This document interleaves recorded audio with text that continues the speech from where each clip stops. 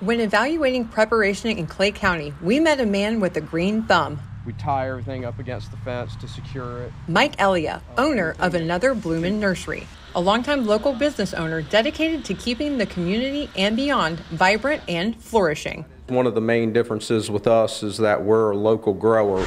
However, we're here after the storm. We are a full landscape company, debris removal. We can do all of that. Details are important when it comes to storm prep. You got to make sure that it's secure. Mike explains that one small hole in a greenhouse wall could result in a total roof loss, resulting in over $10,000 in damage. The biggest thing is traffic flow and sales.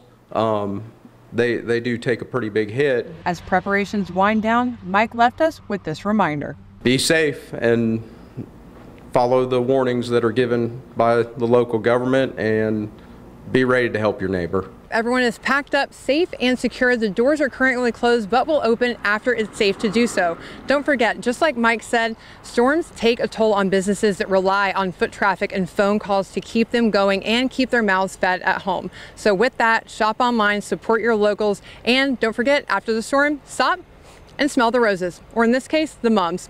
Jana Angel from Clay County with Channel 4, the local station.